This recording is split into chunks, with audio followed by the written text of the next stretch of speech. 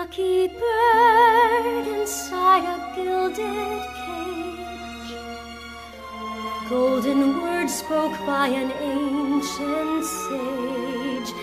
Everything you may have in life, still all you hold is dust. Must I yearn forever to be free, free to climb a tree and ponder, free to wander? There's no desire I hold fonder than to be simply me,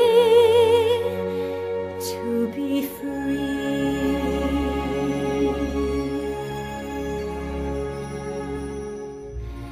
How ungrateful is this lucky bird,